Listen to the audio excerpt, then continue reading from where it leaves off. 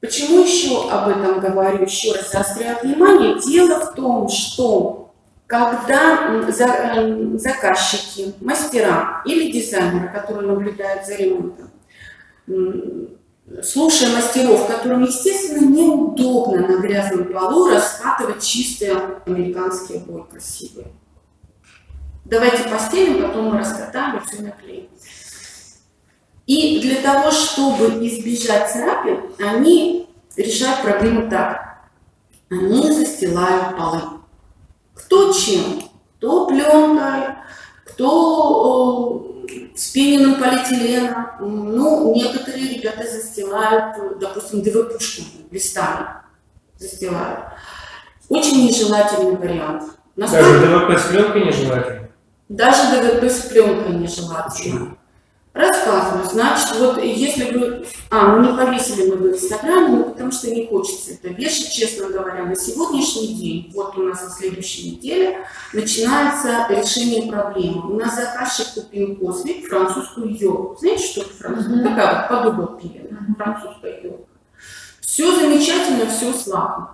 Но я не знаю, с чьей подачи делали не наши ребята, а полы были смонтированы, потом продолжалась покраска стен, потом еще какие-то работы, светильники, потолки, и в итоге полы засланные пленкой, доска натуральная, с покрытием с выполненным, пролежали, ну, где-то месяца два. Когда сняли пленочку, весь пол стоит лодочкой.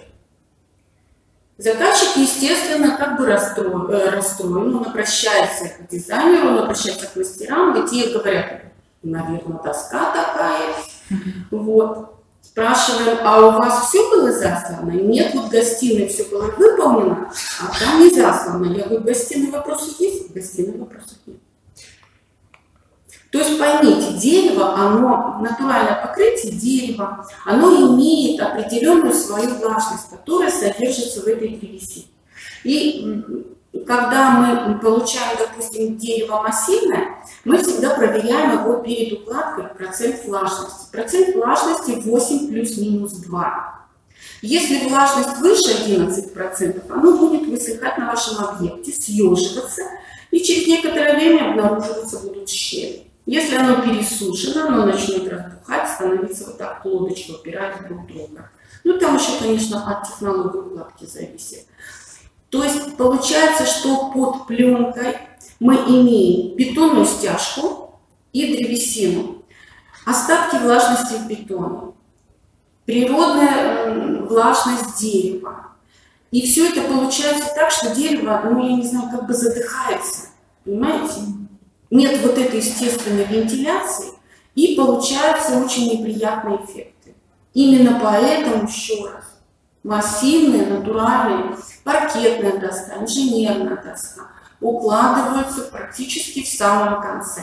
Можно застилать пленкой, можно. Но мы через Но максимум две недели. А картона нет?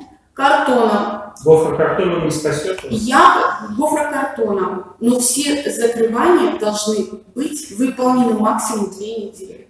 У нас недавно был объект, на котором работал наш мастер.